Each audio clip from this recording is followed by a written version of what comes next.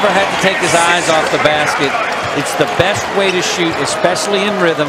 And Mike Conley hit him perfectly on stride. We talked about points off turnovers on Grizzlies Live. Grizzlies with 24 points off of Denver turnovers. McGee just playing great. I think get caught up with him a day late. Yeah, that's exactly right because we all know coming from that time zone, it takes you a couple days to recover. But still, I thought the bench really responded well, and the starters just didn't perform and close the game out like they should have.